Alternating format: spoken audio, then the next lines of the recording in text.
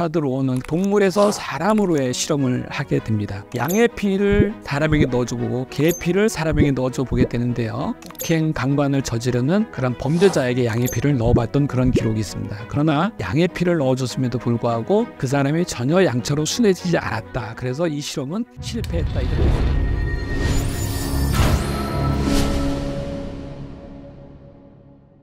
안녕하십니까. 저는 고려대학교 병원에서 정형외과학을 가르치고 진료하고 있는 교수 박종훈이라고 합니다.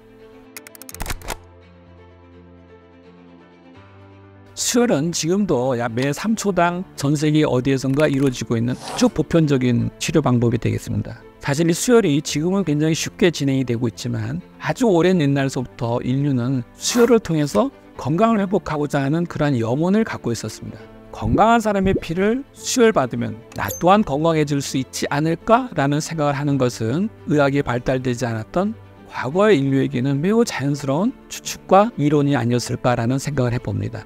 그러나 생명과 혈액을 동일시하는 인류의 이 염원은 쉽게 이루어지지를 못했는데요.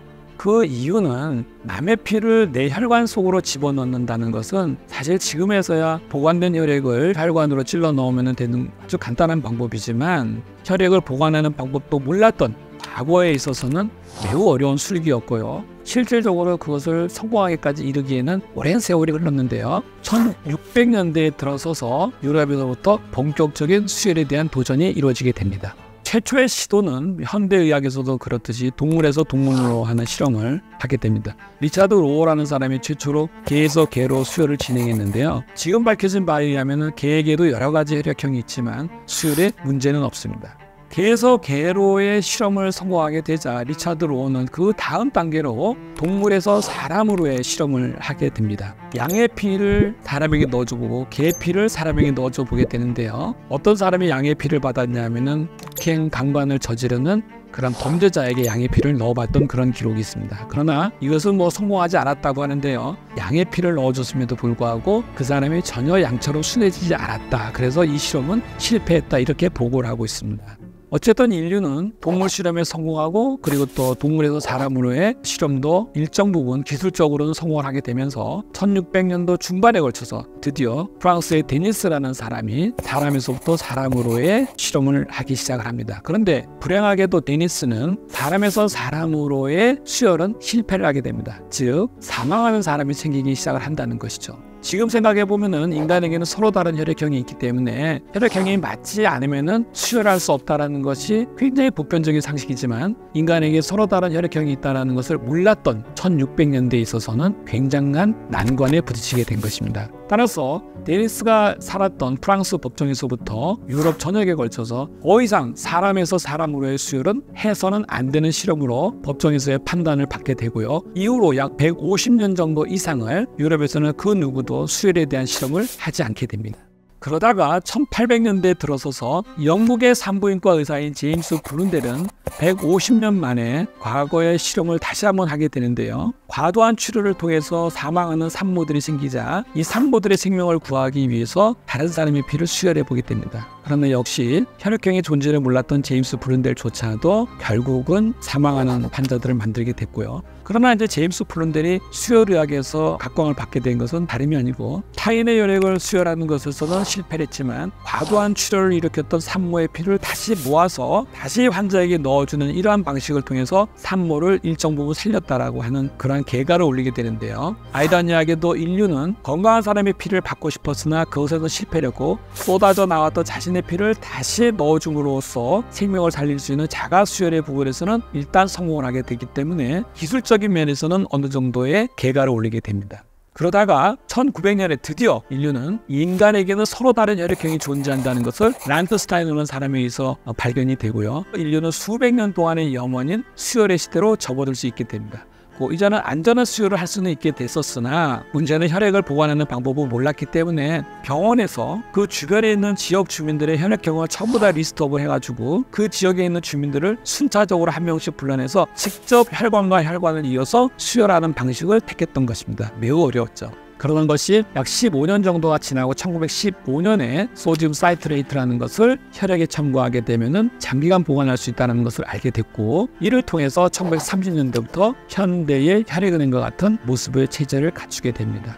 1900년도 내내 수혈이라는 것이 인류의 생명을 살릴 수 있다라는 그런 강한 믿음을 갖게 되었으나 60년대와 80년대를 거치면서 수혈을 받은 환자들에게서 예기치 않은 간염이나 에이즈가 걸릴 수 있는 것을 알면서 아 이 수혈이 분명히 사람의 생명을 살리는 것이 맞기는 맞으나 피를 공유한 사람에게 몸에 있었던 그러한 바이러스들이 수혈을 통해서 환자들에게 옮겨질 수 있다는 사실에 주목하게 됩니다.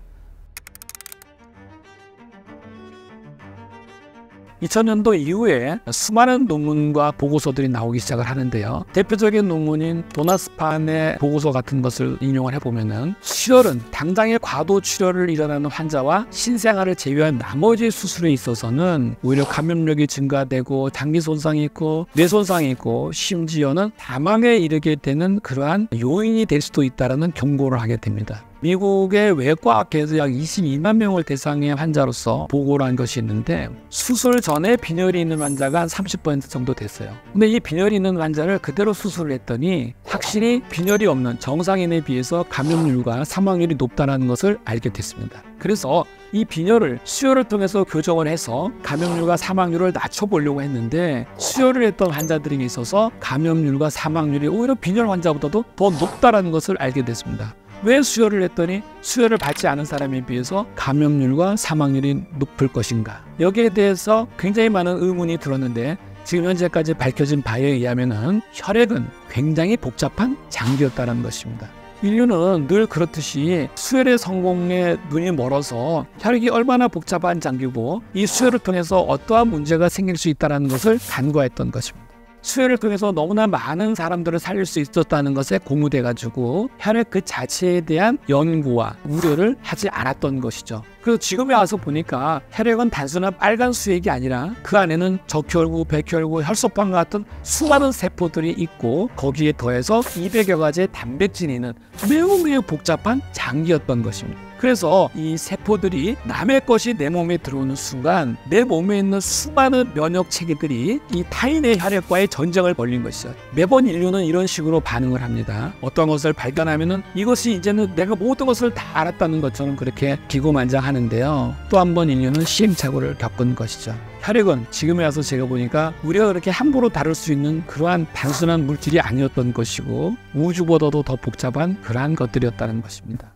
따라서 수혈이라는 것은 일종의 장기 기증처럼 매우 신중하게 진행이 됐어야 된다는 것이고 또 한 가지 우리가 간과했던 것은요. 1942년에 아담의 룬디라는 사람이 주장했던 바가 혈액의 약 3분의 1 정도가 빠져나가면은 반드시 수혈을 해야 된다는 그런 보고를 했는데요. 이제 와서 보니까 인류는 혈액의 2분의 1 정도가 손실이 되더라도 아무런 문제 없이 버틸 수 있었다는 것이죠. 우리가 생각했던 것보다 인간은 훨씬 더 강하고 복잡하고 자신의 생명을 지킬 수 있는 그런 자정력이 있었다는 것을 간과한 것이었습니다. 마치 기계에서 엔진 오일이 빠져나거나 기름이 빠져나가게 되면은 기계가 멈추듯이 인간에게도 혈액이 일정 부분 빠져나가면은 인간 자체가 생존하지 않을 것이라고 생각을 했으나 그렇게 단순하게 설계되지 않았다는 것입니다. 과거에 남의 피를 그대로 받아서 그대로 주는 전열을 했던 그런 시기에는 제1차 세계대전에 수혈을 받았던 병사들의 피를 30년 후에 다시 한번 뽑아 보니까 나의 DNA 속에 남의 DNA를 갖고 있는 DNA끼리 믹싱이 일어났던 겁니다. 인간의 생명을 살리려고 수혈을 해왔는데 그 수혈을 통해서 인류는 DNA를 갈아서 서로 섞어버리는 그러한 오류를 범했던 것이죠. 어쨌든 이런 식으로 이제는 수혈이